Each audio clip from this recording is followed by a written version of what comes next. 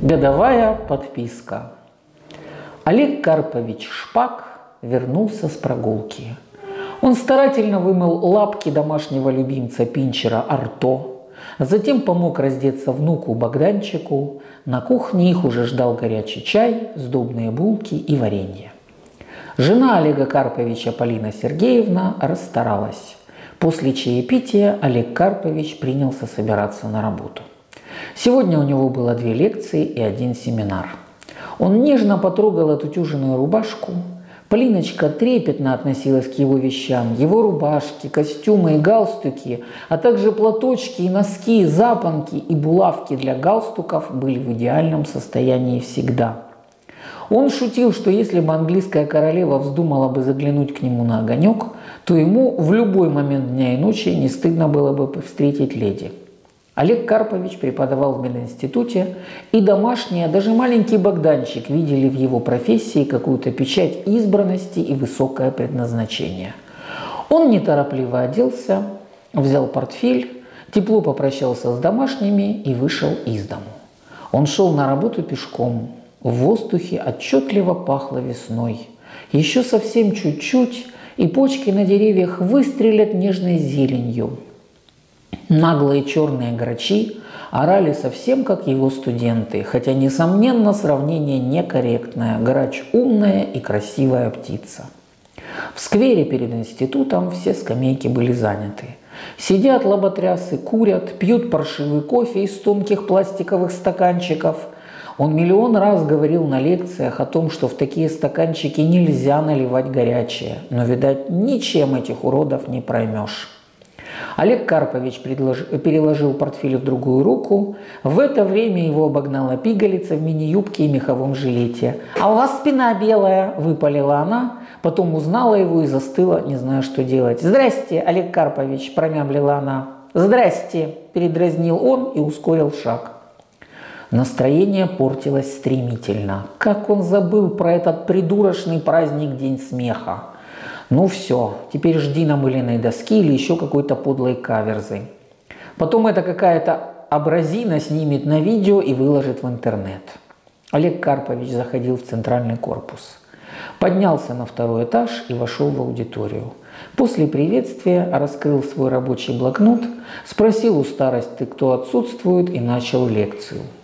Шум рабочего пчелиного улья он не пытался перекричать, а наоборот специально говорил все тише, чтобы хоть как-то привлечь внимание студентов. Но кто-то пялился в экран телефона, кто-то болтал с соседом, остальные просто сидели с отсутствующим видом, пряча гарнитуры за пышными кудрями.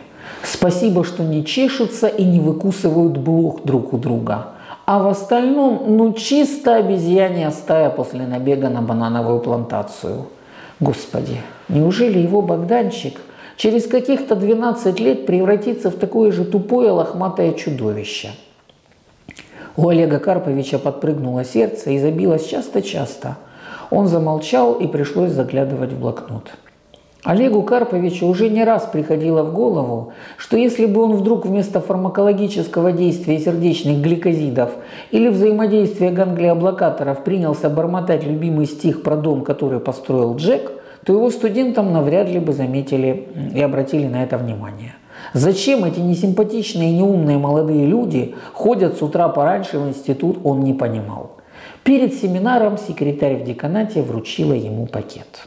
Он пакет раскрыл и сперва не понял, но потом, повертев в руках и даже полистав журнал свиноводства, его осенило. Это и есть мерзкая каверза на День смеха или День дурака – Смешно дураку, что рот на боку. Ладно, будет вам день смеха. Обхохочетесь. Аня юмор не понимала. Ни быковатых, э, ни быковатых всевозможных комедий-клабов, ни тонкие английские, ни перченые еврейские анекдоты. Училась Аня хорошо, звезд с неба не хватало, Конфликт с преподом по фармакологии возник вообще на пустом месте. Гадкий шпак довел до слез Катю Перетятько. Девушку не очень умную, но девушку ведь.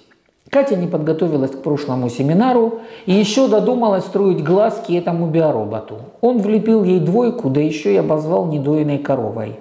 Аня влезла в эту свару, в итоге Олег Карпович о Катьке и думать забыл, а Аньку ненавидит люто. Придирается к любой мелочи. До чего же несносны эти пожилые люди? Зудят, брюзжат или вдруг начинают строить из себя мачо и приглашать на свидание. Аня передернула плечами. Семинар уже начался, и Аня пыталась следить за его ходом. Она чувствовала, что сегодня Карпуша оторвется по полной. Но тут оказалось, но тут, казалось, забыл о ее существовании. Внезапно Олег Карпович, как будто что-то вспомнив, хлопнул себя по лбу. Забыл сказать. Сегодня кто-то сделал мне подарок. Годовую подписку на журнал «Свиноводство». Даже не знаю, как я раньше обходился без таких полезных знаний.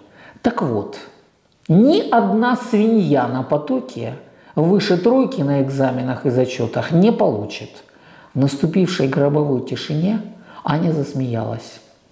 Ее смех звучал демонически. Вероятно, чувство юмора, которое так долго не подавало никаких признаков жизни, проснулось, но в самый неподходящий момент. Аня не могла остановиться, все хохотала. «Савенко, покиньте аудиторию». Олег Карпович не мог сдержать ярость. Аня все хихикала, а у самой двери так получилось, что она нечаянно хрюкнула, и тут заржали все. После семинара Олег Карпович шел домой и думал, что будущее ужасно, потому что молодежь – жалкие уроды и вырожденцы. Но он их лихо осадил. Фраза «ни одна свинья на потоке выше тройки не получит» ему очень нравилась. Все-таки без юмора в жизни никак не обойтись.